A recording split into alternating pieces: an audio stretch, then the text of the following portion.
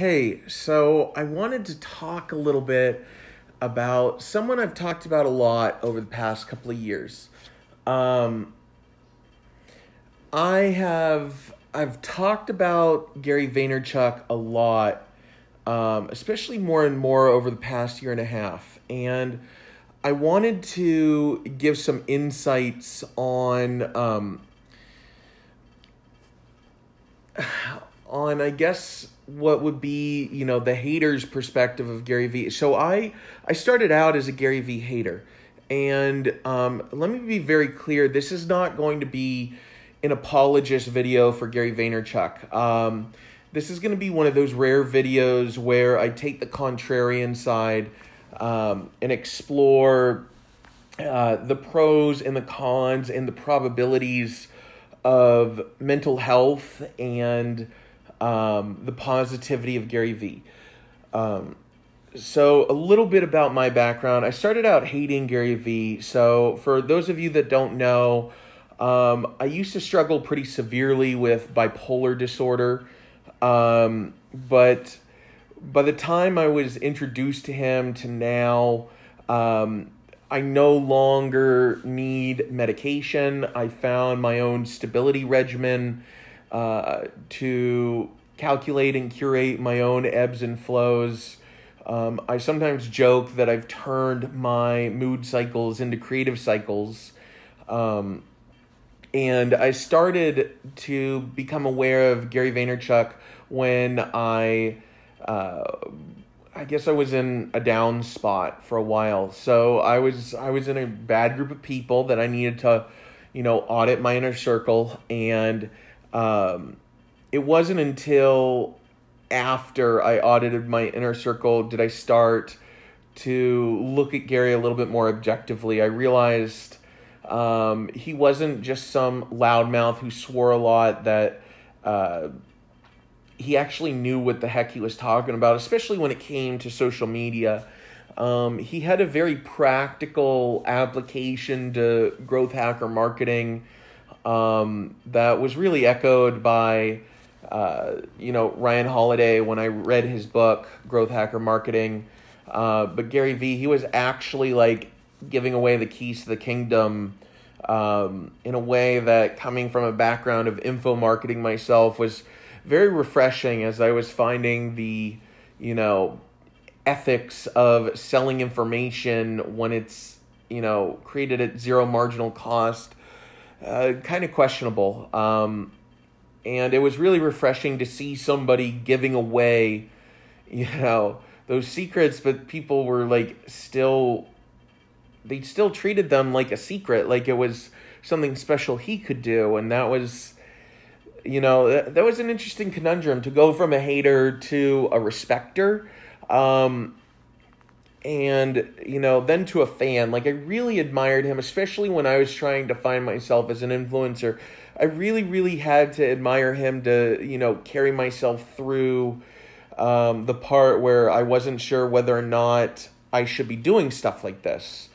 Um, but for those of you that know like you know i talk a lot about my journey learning math and um, applying practical math like I guess, applied mathematics to theoretical mathematics and physics, which I've liked to study, specifically probabilities. And let me explain to you real quick uh, the difference between probabilities and possibilities. Possibilities are unicorns, probabilities are rainbows in sunshine after a thunderstorm it's not something that's guaranteed, but you know that you you have a probability of rainbows and sunshine after a thunderstorm. Um, you can always hope for the possibility that there's going to be unicorns when the clouds part, but it's not a probability. It's just a hope and a dream. It's not something you can actually even work towards uh, unless you want to paste a horn to a horse's head and then at that point that's you know that's not real that's fake um, so probabilities there you know if we get the math right with this rocket ship we can go to outer space if we don't you know we don't Um, there's no way to, to really fake that. And that's that's what probabilities are. And what's really interesting is like living through my own experience of the ebbs and flows of mania and depression, I started to notice something really, really interesting that uh, Gary Vaynerchuk and I are like mere differences. He came from extreme hardship, uh, you know, entrepreneur family from a young age. Uh, they were immigrants. You know, they they came with nothing. They created their own abundance. They're hard workers.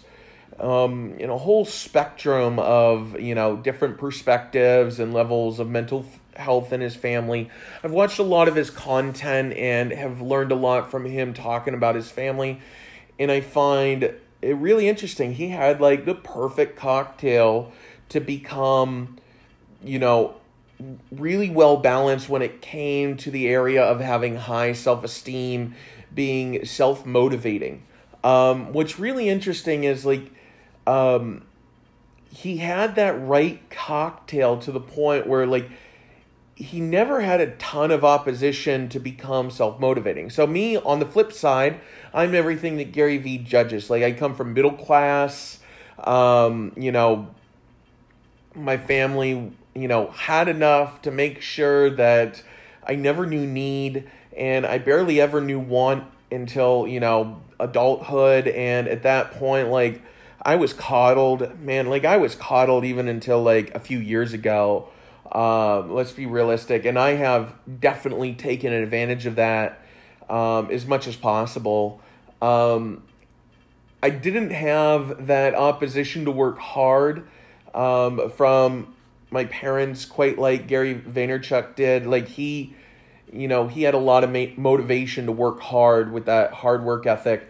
Uh, my father had an amazingly hard work ethic to the point where, you know, to be fair, like probably workaholic. Um, I love him to death. You know, I put him on a pedestal for a very long time, but he uh, he wasn't there all the time because he was working to provide for his family. That's you know that's the world I grew up in. Like that's what everyone thought was right, especially back then, especially in our our class that we were in. Um, there was nothing wrong about it until now. With context, people are saying like you know, there is a thing as working too hard, and even he feels that. Um, even he feels duped with that, you know, intense, I guess what people are calling now hustle porn, which they, you know, unintentionally blame Gary Vee for being a part of. Um, but he's not. Like, he actually tells people to, you know, focus on their passions. It's not just, you know, work for money. Like, it's not just that. It's work for what you love, what you're passionate. Um, but what's really really interesting to me is like he had a lot of hardship early on but he had that perfect cocktail of you know encouragement and support as he says like the perfect parents um but there's something that I have to speak out about uh, so that I feel right about myself when it comes to mental health.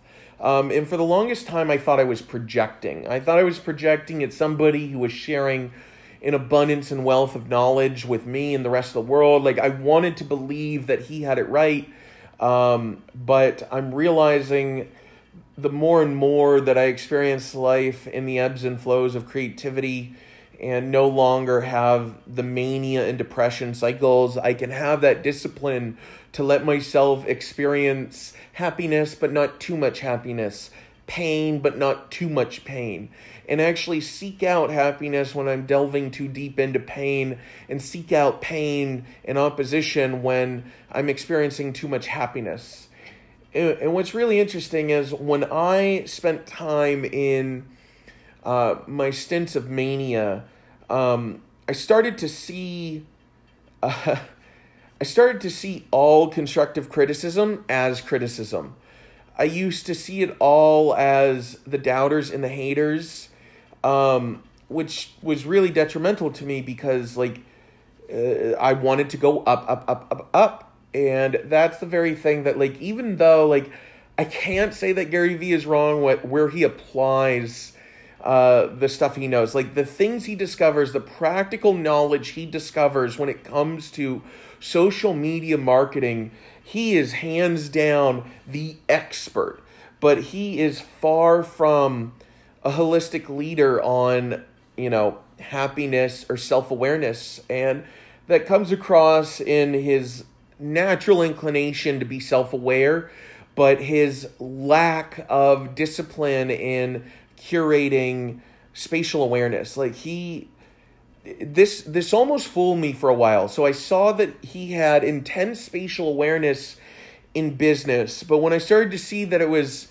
you know pretty much limited to social media technology companies, social media in that area, business businesses that could benefit from social media marketing, which is like like he says, pretty much any business. So he has a very very attuned spatial awareness for marketing in business, but specifically in the niche of social media marketing and those kind of things. Um, that being said, his spatial awareness for everything else is pretty close to zero.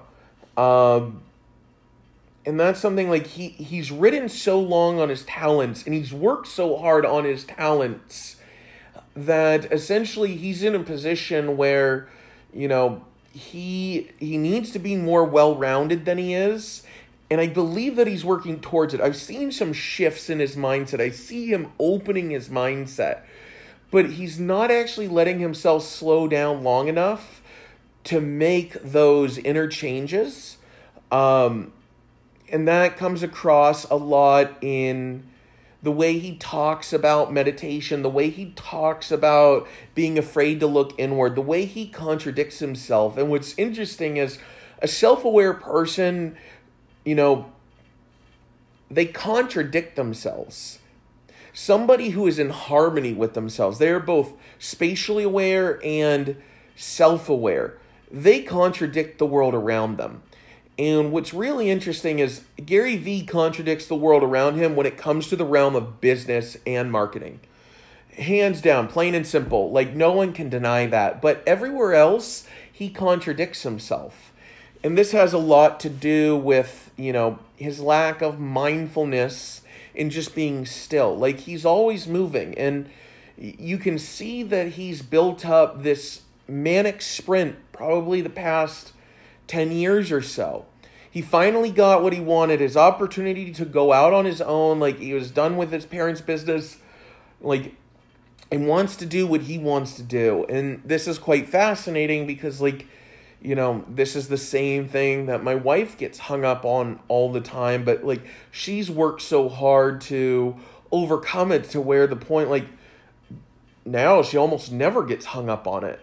And it's really interesting to see so much of Gary Vee in my wife, but also, you know, so much of what he is in his expert field, but applied holistically. The way she applies it holistically is a way where, like, I realize he talks about empathy, he talks about ego, and when it comes to business, he's probably the most empathetic person, you know, He's got the least ego when it comes to competing in his field. He talks about leaving a lot of things on the table. But what's really interesting is like his ego gets in the way of of a lot of things. Like specifically in business, one thing that's holding him back is his lack of awareness of community building. Um, he outsources this, and it's quite interesting to me because like he will add value to other people's communities and I find that really, really interesting. That's what makes him such a great marketer. Because marketers, like, you know, if they are a business owner and they're trying to really create a business that's not a marketing agency, they're like Steve Jobs. Like, they are tyrants. And that's like, that's exactly why my wife is the CEO of what we're building because, like, I, I, I would be the tyrant. Like, I get that. Like, I'm, I'm a lot like Gary Vee, but on a flip side in a way where like I see him building up this manic construct where it's going to come crashing down and he's already put out the details. He's already set his own parameters on how it's going to come crashing down. Like somebody in those like 8 to 10 people which it's very important to remember that number 1 people are not things. But the way people have a perspective in this world, anything we perceive are things. So the very way he constructs like his happiness is solidified as long as 8 to 10 people are still alive. That's the same thing as saying is like I'll be happy as long as my Corvette is okay, as long as I have a big house.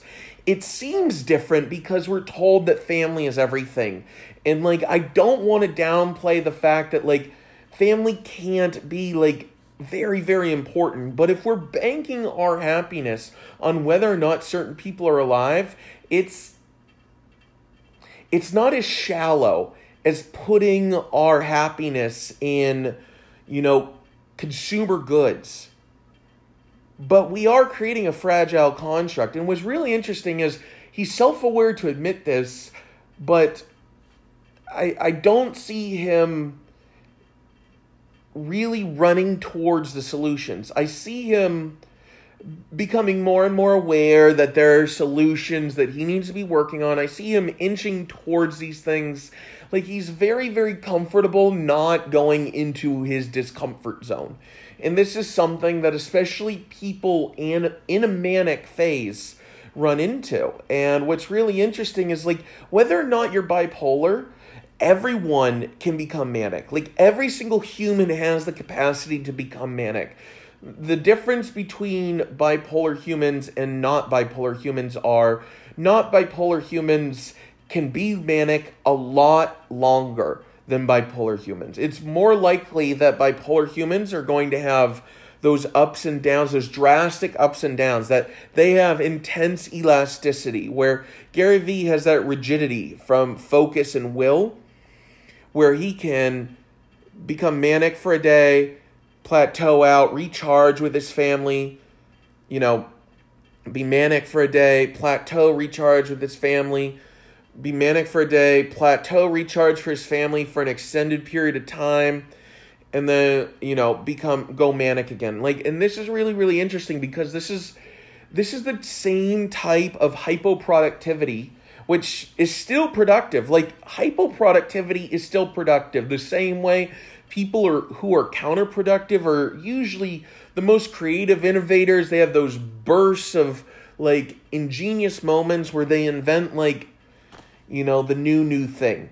Um so let me not downplay the fact that like Gary Vee is a genius. He is an expert. He is amazing at what he does. He is probably one of the most self-aware people on the earth today, but like he's also he's setting himself up for massive failure. And the crazy thing is is he knows this. Like I'm preaching to the choir for anybody who knows him.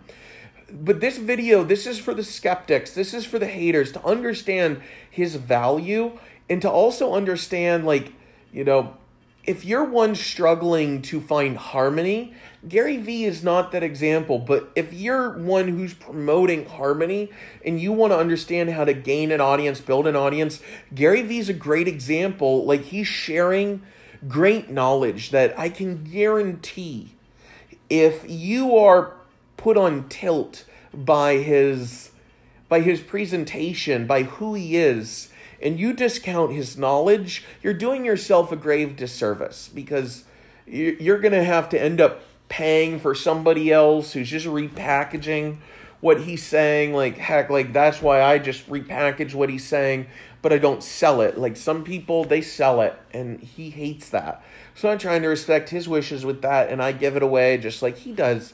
But I package it for the people who are looking to find that harmony. And that's the sort of thing where like I really really respect him, but like I really feel bad for all of his employees for the empire he's building cuz you know, depending who it is that he loses in those 8 to 10 people because like you have you have the kids, which that would be the most devastating thing for him if he lost one of them.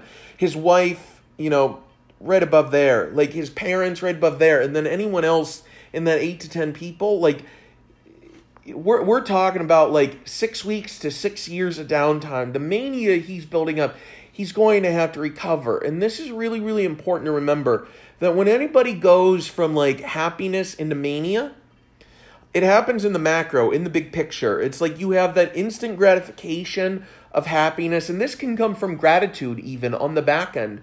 And then when we compound it by doing things we want to do, doing what we want, and we use that as fuel, it's not sustainable. Just the same way that somebody who's doing things out of like rage or pain or whatever, it's not sustainable. It's it could be a good jump start to get you moving, you know, in a game, but like you don't want to live your whole life being angry at people. Um, and that's the same thing. On the flip side, nobody talks about this the dangers of, you know, fueling yourself with gratitude alone. Like, gratitude is great, but to have it be your constant fuel, I mean, that's the same as emotional cocaine. And that's something I've I've lived years on that. And that's like I was fortunate enough to have bipolar disorder to where it came crashing down. And then, you know, I did the thing that I was resisting just as much as Gary Vee does, that harmony thing. Like I resisted meditation and that shit for years. But now I found like the one thing I was really horrible at, which is doing, which is what he's great at. Like I found that meditating helped me get to the point where I figured out how to meditate while I was doing. And that's something that I thought Gary Vee was doing, but it only applies to the things he wants to do, which the awareness that I've gained from my wife, the insight that I've gotten from her is like, for me, like, the meditation from doing helps me do things I don't want to do just as much as things I do want to do when I don't want to do them right now. I don't have the luxury of always wanting to do the things that I want to do. That's why I'm one of the counterproductive types, whereas Gary Vee and my wife are the hypoproductive types. They always want to do what they want to do. And the problem is is when he has this fragile construct and his bottom is ripped out from him. If it's his wife, his kid, like, interestingly enough, I think losing a child is the worst thing a human being could ever go through. But, you know, if he lost his wife, it would it would be more detrimental to his business than losing a kid. Like losing a kid would be more detrimental to his marriage than you know losing his wife, which is interesting. This is just you know that psychobabble that nobody likes the mental health stuff that like gary vee says is a good thing but like he he has good mental health habits in very focused areas of his life but he doesn't know how to do his own psychological analysis of himself um, in a way that isn't just glimpses. He's not able to get that perspective that he craves because he doesn't stop for long enough. I truly, truly believe that like he just gets too anxious. He gets, you know, he, he feels too negative and he resists that negativity and he resists it so much that he's actually hurting himself and his family in a way that like I lump his employees in with his family because that's his extended family. The same way that, you know, a parent thinks that their children are better off with them than without them um, he has that same mentality with his employees. It's why like his ego gets in the way where like he's he struggles with radical candor with other people and himself. He struggles with being honest with himself with the things he doesn't want to think about. The things that are outside of his pure purview. And this is the expert dilemma. And this is something really really fascinating because like you know I think it's really interesting that like he's figured out this perfect recipe of masking these things to where like I had to study him. Like I'm not a psychologist. Like I I just understand mental health. I live it. I live it daily. So like I'm sure if I had you know taken psychology classes I'd figure out how to diagnose this stuff. Like shit like my psychologists and stuff like they told me to be careful of people like Gary Vee but like at the end of the day, he helped me do the things that they couldn't. So, like, there's something to be said about that.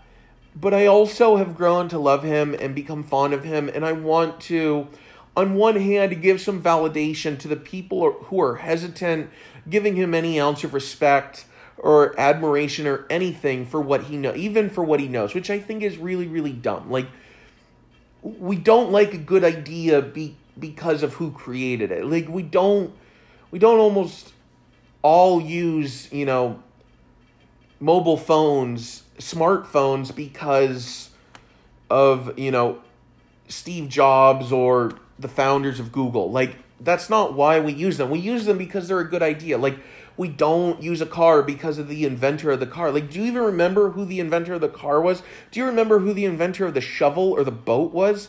Do you remember who the inventor of, like, you know, the first idea of the airplane was? The first idea the helicopter was? Like, you know, even if we look those things up, even if we were like, okay, like, you know, looked at the historians and what they say, like, oh yeah, Leonardo da Vinci was the first one to invent the helicopter wasn't the first one to make it, but like first one to invent the idea. Like we don't we don't really care if a good idea who came up with the good idea. And that's something that's really really interesting. I mean, we still use PR even though that, you know, Edward Bernays was a huge fan of fascism and like also the the Nazi propaganda prime minister like Nazi propaganda minister, like, was a huge fan of Edward Bernays. Edward Bernays literally invented PR, but it's, you know, it's not a horrible idea. I mean, like, PR organizations in a digital age where we can live stream and have control over our own PR stream, that's a PR organization is kind of a bad idea. Um, which is ironic because like it's kind of what that's the service that Gary Vee sells is that PR service to to brands, um, which I think is a good way to transition the big corporate brands into becoming more personal again. So like I commend his strategy, but it's interesting. Like he continues to contradict himself because he sees it as like himself against the world. And as somebody who's also been bullied, I get that. Like I get where he's coming from, where it's him versus the world but he's not able to take a break from competing with the world to realize how he's competing with himself. And, you know, that's the thing. Like, if we're competing with ourselves, like on the court, if you're competing with yourself, you know, like you're always going to be evenly matched. You're never going to score a point. Like, you're going to shoot, but you're never going to score a point. Neither one, like, if you're really playing yourself, you're never going to score a point. That's the th- and even if you did, you're only scoring on yourself, and that's kind of the point. That's why even if you score, you're not really scoring a point. And that's the crazy thing is like Gary Vee's never going to listen to anyone until until it's too late and you know he's he's going to have to start over again. Fortunately, he's also prepping himself for that when he has to start over again and he's building up a reputation where like it's really all or nothing. Like he's building an organization to survive, but the very fact he's building a corporation, it can out survive him. And that's it. Like I mean heaven forbid he lose his wife or a child, like he's never going to recover. Like he's never going to recover. Let me put this in probabilistic timeline. He's never going to recover quick enough to recover his company. And this is the same sort of trap Steve Jobs fell into. Like he was in that manic trap and he got pushed out and there was nothing he could do. And this is something really really interesting because like Gary Vee is really really empathetic for people that want what he's selling or who are like him. And I think that's really, really dangerous, especially for the people who, you know, happen to be bipolar who are like him. Um, I really hope that he doesn't have to navigate people, you know, people who are ha- fans of him that end up committing suicide because they don't get the right ingredients in the right order. Like, that would be like, that would be the worst news for me as a fan of his. Like, that's the sort of thing. Like it's he's really great at building an audience, but he's he's really really bad at at building communities. And that's something where like I I think interestingly enough, he doesn't read books. Like he prides himself in not reading books, but Priya Parker's book, uh, the uh, you know, the art of gathering i think it's called. I, I can't remember the title exactly. That's why i hesitated. Um, why we gather something like that. Priya parker uh, she's a genius on this stuff. Like she's a facilitator which is different than being a leader like what gary vee is. He's a leader. She's a facilitator and what that means is like she is comfortable helping people facilitate um, helping people facilitate a community even when she's not the one leading.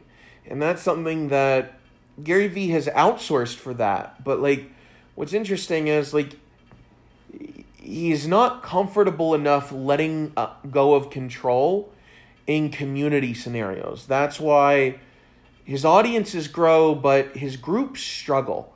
I find that really really interesting. He's good at these focused mastermind groups, but he's not really good at large groups, especially when people aren't there to see him. And this is something like I haven't seen him talk a lot on, but like it's very, very apparent in his choices and his actions and the disparity between what he does and what he doesn't do. Um, and I know he does anything that he's good at. So anything that he doesn't do, he's not good at. And that's the he talks about is like find those things that we're talented at and do them. Like he doesn't understand that we can grow talent.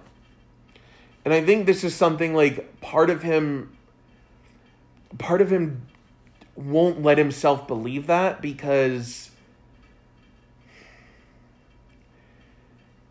you know that fear of regret regret. Like he doesn't want to regret like believing that he could have curated talent in sports. And that's something like i had to do like i had natural talent in sports and i gave it up because things started to get too hard and i didn't have that work ethic. But i definitely know that talent can be curated. Like my talent for the creative arts was curated because i gave up on sports that's it like talent can be curated my talent for marketing specifically in the area of communities. Like I'm, I am, I feel like I am what Gary Vee was to audience building 10 years ago to communities now. And the irony is, is like, if I claim that, like, I'm not as appealing to hear it from, so I sound like a know-it-all condescending asshole when I when I talk about, you know, my personal truths. When I talk about what I'm good at, you know, I sound like I'm self promoting. This is what, ironically, people who are really, really mindful when they're self promoting, this is what they're really, really good at. And this is why I love books like Jab, Jab, Jab, Right Hook. Like, he's really good at explaining how to do what he does. And that's be mindful of other people, but it's really it's really feigning mindfulness. It's he's being respectful for other people. Um, the fact of the matter is when you distribute that out enough like if somebody were to only see those right hooks they just think he's asking all the time. And that's where it's kind of self-defeating where that mindfulness is understanding that a community happens in a one-on-one.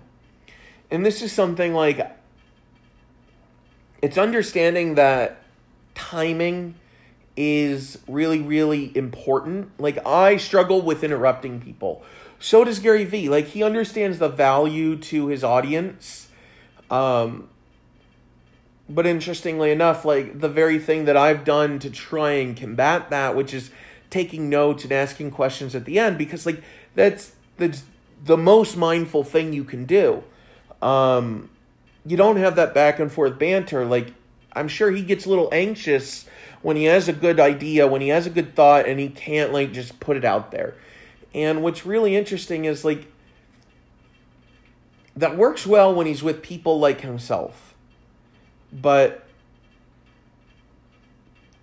it doesn't work well for people that aren't mindful enough to know that's just who he is. So that's why he tends to have have to explain himself when he says like, you know, he has to explain why he's interrupting people. And instead of just resolving that dilemma, like really working on resolving that so he can be as respectful as possible. And what's ironic is like these all play to the values that he cares about. It's just it's so efficient that like he has to do things the hypoproductive way and literally fail at the finish line to really catch up and realize like anything is possible. It's completely limitless. Like he wants to be successful at business, but he hinders himself.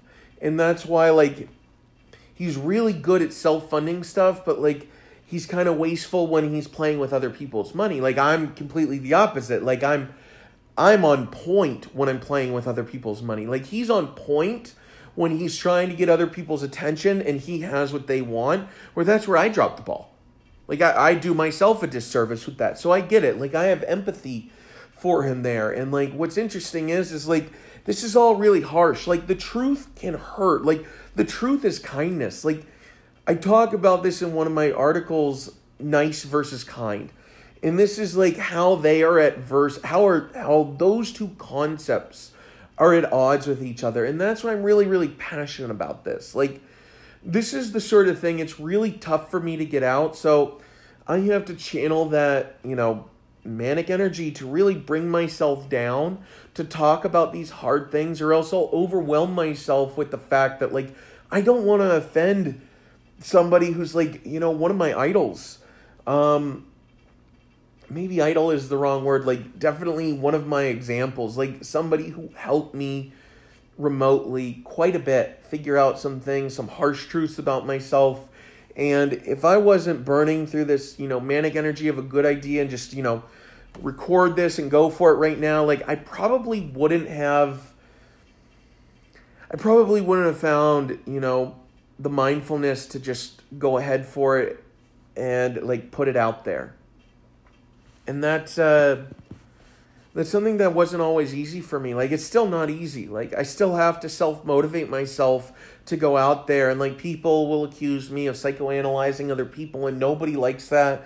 But we're living in an interconnected world where like people can't afford to not manage their own PR. Like we live in a world where the ethics of psychology are kind of broken. Like people who understand psychology, people who understand mental health, we can't afford not to psychoanalyze people, but we have to do it in a respectful manner. We can't just accuse people. We can't just blame people. We can't just tell people they're broken. Like Gary Vee is the least broken person I know at his level. And like I, I would go as far to say like he's as perfect as all of us are. Like we're all perfect in our own unique way. But he still has a lot of room to grow, like all of us. Ironically, I think he has less room to grow than almost all of us. That being said, it's even more important for him to dedicate the time and discomfort to growing himself so he doesn't betray his fans, so he doesn't have the PR nightmare of having somebody who's like living his mantra but isn't as strong as him and ends up committing suicide. Like that would break my heart. It would break my heart if, like, you know, some tragedy struck and he just lost all motivation to work and his company fell apart and he just lost all motivation to care. Because this is the thing, it's like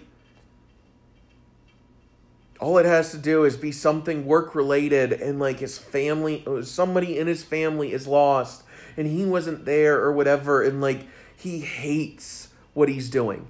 Like that's how fragile his emotional state is at that level. It's it's something that didn't apply 10 years ago to him in that hustle, in that grind, but now everything is magnified. That black swan effect, everything can come crashing down with something as minuscule as, you know, he loses a loved one and, you know, they had their last moments in a hospital, but he couldn't get there because of work. Something that, like, he'll either have to blame himself or something exterior. And that's the sort of thing where, like, you can only love the interconnected nature of technology so much until you realize, like, question is it even worth it if you couldn't be there? When tragedy strikes. And that's the thing. It's like it's understanding that like this is exactly why like my wife and I are on this journey together. Like we're gonna be there every step of the way, even raise our kids on the go. it's unconventional, but we don't give a fuck. And people are telling us that's wrong, that like our kids, like that would be wrong to our kids. They need to have stability. Like we, you have enough money, you can afford to have that stability. And like it doesn't matter. Like it's, it's, it's just an excuse. And that's the very thing. It's like, yes, I'm projecting the same way Gary Vee projects on the world that he knows more than them. Not that he knows better, like he just knows more about his realm. And this happens to be my realm. This happens to be my wife's realm. This happens to be the realm of a lot of people that, you know, don't respect what Gary Vee knows in his realm, but oddly enough, if they applied it we could bring balance to the people that could unintentionally be hurt when that black swan effect happens. And like I I know Gary Vee doesn't read, so like I I could refer like Black Swan and Nassim Taleb's books.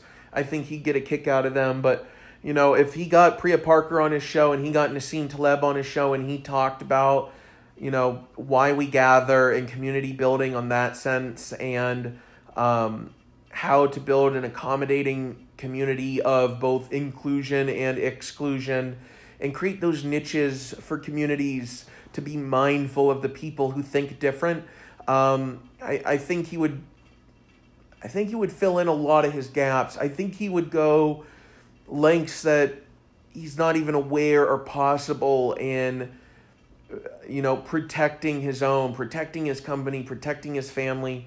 Um, and, you know, I, I would love to see, you know, a podcast episode with him talking to Priya Parker. I, I would love to see a podcast episode of him talking to Nassim Taleb about the Black Swan effect. Um, and interestingly enough, one of the things I talk about practicing is anti fragile mental health, um, which is being as disruptive as Gary Vee is, but in the realm of mental health.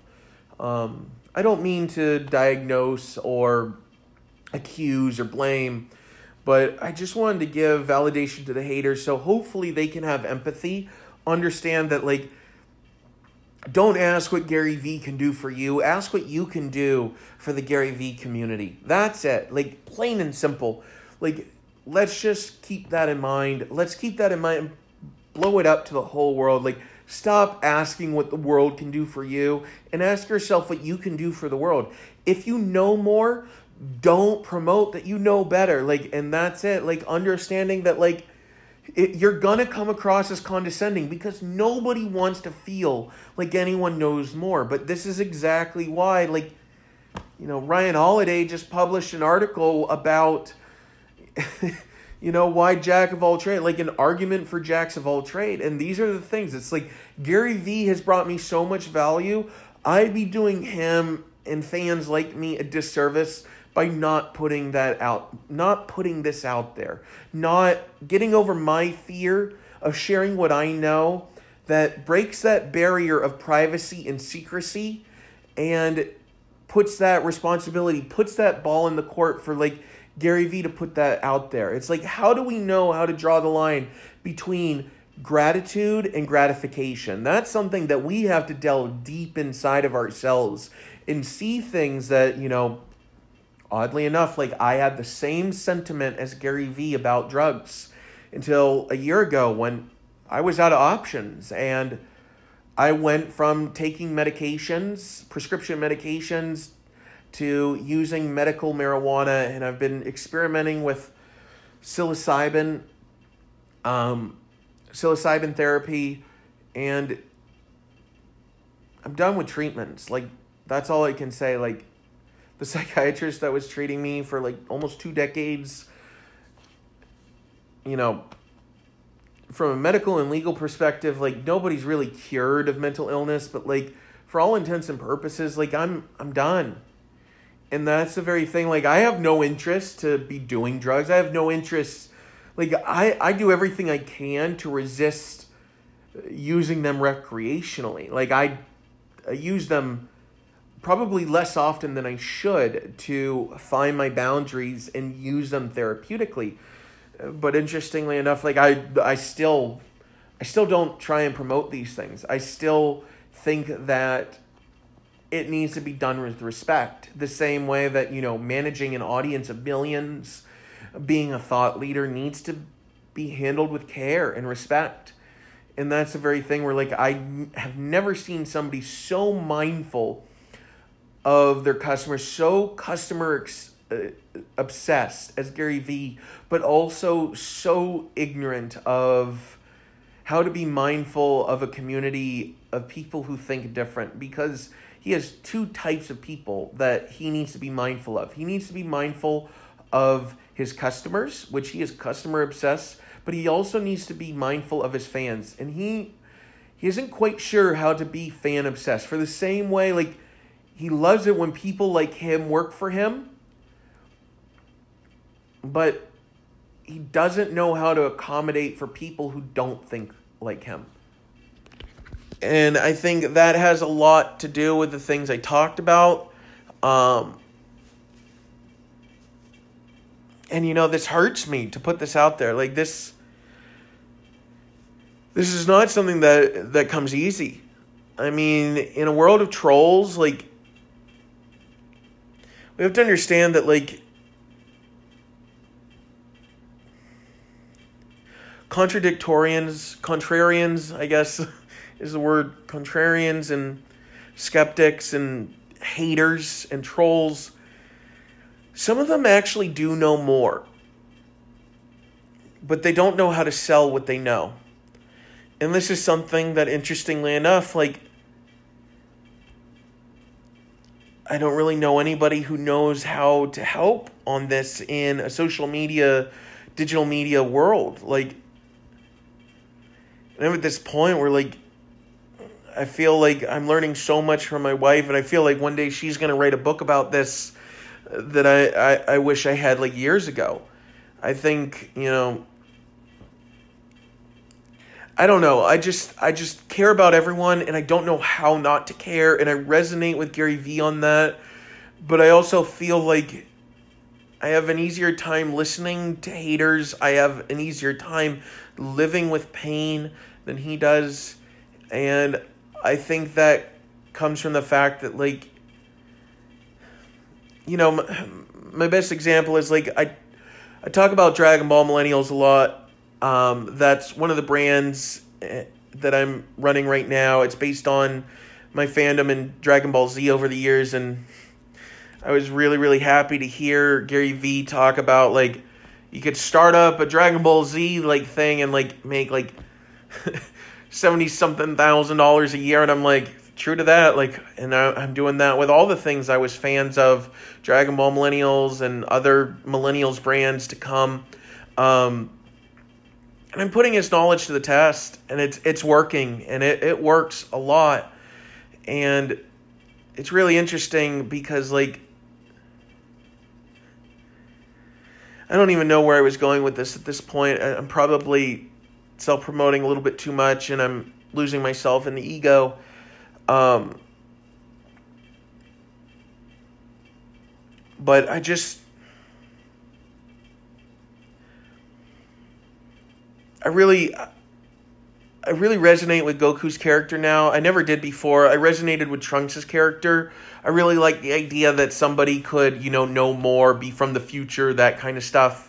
Um, that's how I kind of saw people like Steve Jobs and, you know, Bill Gates and the Elon Musks and the Gary Vee's, like people who are like from the future almost.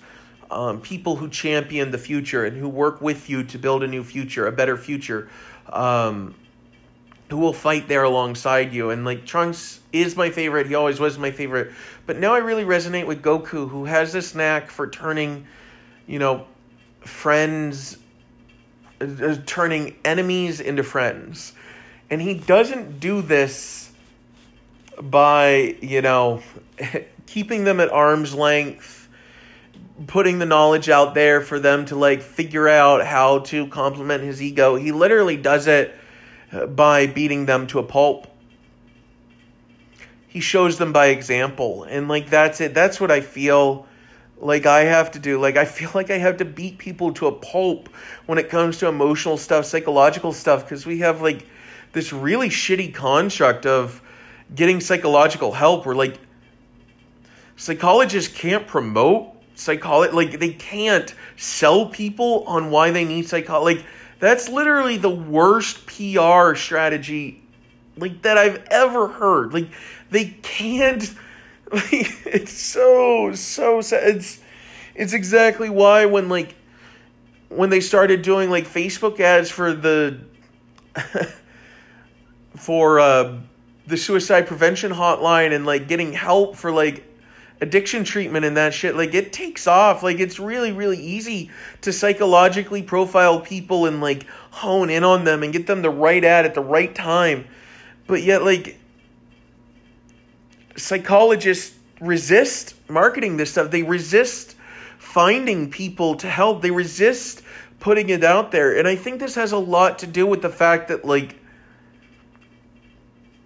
you know, I, I practice mental health like Gary Vee practiced business the past like 20 or 30 years. Um, and I'm realizing the whole construct is broken. And and that's it. Like I want to change it all because like we need to be able to listen to people who contradict what we say because if we can be contradicted, we're not right. We're just not. Like that's it. Like, if we feel like we're contradicted, we're not right.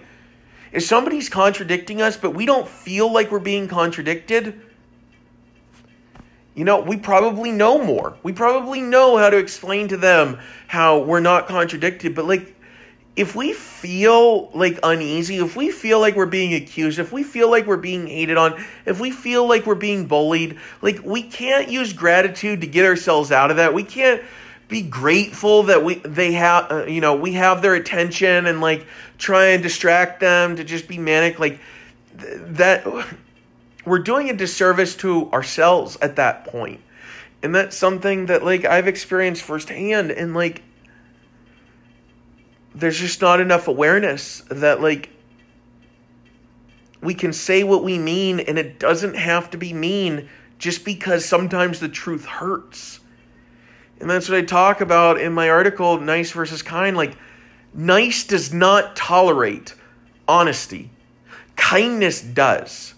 So if we ever think that we're being nice by like not sharing our personal truth, which contradicts somebody's personal truth, and it's going to offend them. That's why, like, Gary Vee struggles with radical candor.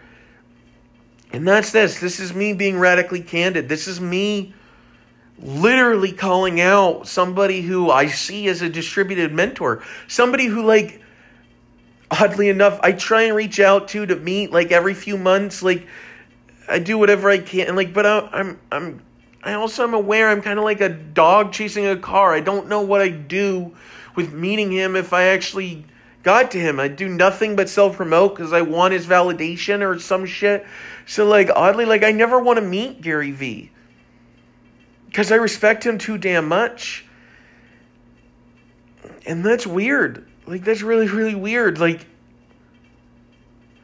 I want to practice everything he's talking about so that, like, he can understand. So that he can understand the things he doesn't want to understand. So he can learn the things he doesn't want to learn. So he can care more about what he wants because I'm glad he found happiness, but peace is so much more powerful than happiness. That's why they say peace and happiness, because peace comes first. And peace is the absence of happiness and pain. And that's something we're never taught. Like, that's what harmony is. That's what it means to be in harmony with yourself, to be absence of happiness to be absence of gratitude, but also to be absent of pain. If we're constantly chasing happiness and gratitude, like we're just running away from pain. And somebody, somebody really wise once told me, his name is Stephen Hernandez, and he told me that like the biggest motivator for humans is uh, regret avoidance, and that's something that Gary Vee echoes to like the ends of the earth. But here's here's the honest truth, like and you know what's ironic is like I say that, and I know people tend to like. I've heard them talk about the logical fallacy where if you have to say something as the honest truth, it's probably not. So, shit, I have to call myself out on that. Um, here's what I know regret avoidance is huge, but pain avoidance, that's even bigger. That's why people struggle to understand Gary Vee's context because it's painful to watch all of his shit. Like, he doesn't create the linear paths that people need to educate themselves concisely. It's information overload. And um, he's really, really good at making micro content, but fuck, like, he doesn't have any learning paths to, to get there. Um, he creates these blueprints and shit that, but like, he's got to do the equivalent like courses and everything, and for every person, like audio courses, like video courses, all that shit. Like he's, or else it's it's just never gonna, it's never gonna reach that, and that's the sort of thing where I think like learning what Priya Parker knows would really help him in that area. Um, and sometimes we just we just need a change of environment. And it can be uncomfortable. For example, like I'm not an outdoorsy person. Like I used to make fun of people who went camping saying that they were just playing pretend like they were homeless. They were so rich that they just wanted to pretend like they were homeless. But, you know, what I had to do to get myself through that, like, I had to push myself into the discomfort zone. So, being a city person, I like that city vibe. I forced myself to live out in, like, a town of, like, I think, like, 200 people, less than 200 people. Like, literally, like, a two road town, crossroad town, like that. And, on the East Coast and just completely disconnected and literally push myself to be uncomfortable as long as it took for me to be comfortable. And then, as long as it took for me to be comfortable in the place that I was uncomfortable, I spent twice as long learning how to be more comfortable there. And that's helped me become comfortable in more places that are disconnected like that. So, that's the thing is like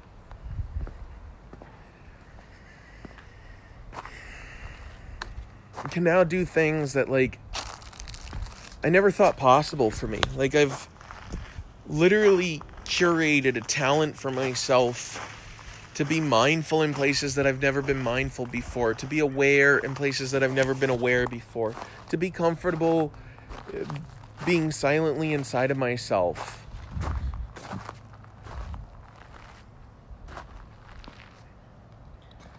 understanding that things that I don't want to do are exactly how I get to know myself more. And I'm so much more than the things I want. And I realize that by doing things that I don't want to do. Literally listening to people who hate me, like turning enemies into allies, like Goku does.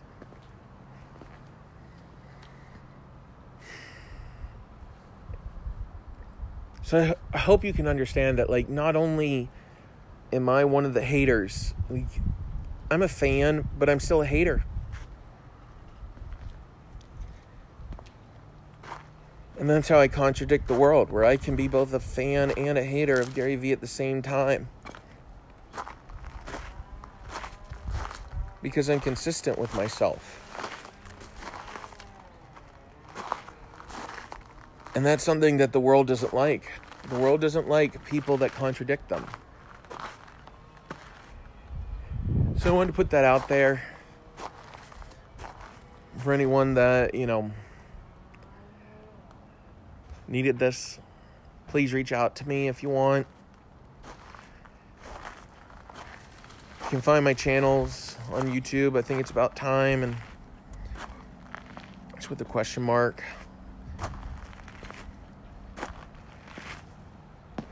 You can find me on Instagram, JaceNotChase. That's J A C E C H A C E.